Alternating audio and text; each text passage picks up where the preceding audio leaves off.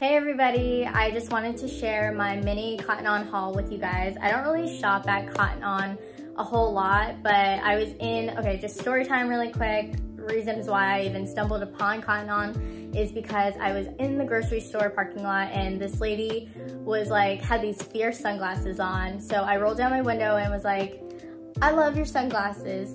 And I thought, I always freak out when I'm gonna compliment somebody in public that I don't know because I don't know, that's just like a weird thing to do here.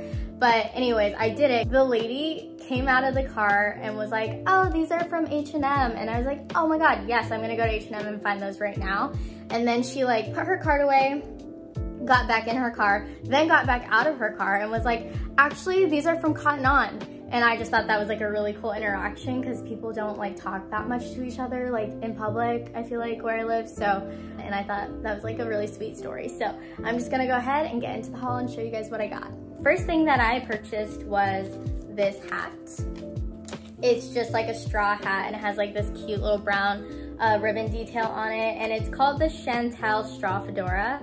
It's just in the color natural and a size small. So I just, oh gosh, Okay, I thought that was kind of cute. Like, I don't really wear hats that much, but I don't know. I just wanted to try a hat for like, I like that for like the summer, you know, because I live near the beach. So, I don't know. I think that's cute.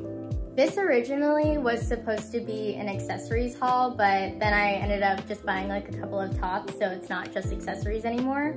Um, but I got two pairs of sunglasses, which is like the main reason why I even shopped at Cotton On because that woman told me to go there, but I bought these um, white pairs of sunglasses. They're just cat eye. They're like, I don't even know what they're called because I threw the tag away, but this was $3. So I don't know, even if I lose them or something, I think these are fun. Like they're a little bit wild, but I don't know, they're fun. And then I got these, which are, I think, even more wild. I don't really know if these are like my style, but they were cheap. These were also, these were $5, so I'll let you guys know how I like them or if I even wear them out in public, but I like them. They're kind of fun. It's something I wouldn't typically wear, so I'm just gonna try those out. And then they come with these like little sunglass bags if you're into that. And then I bought just this like bandeau.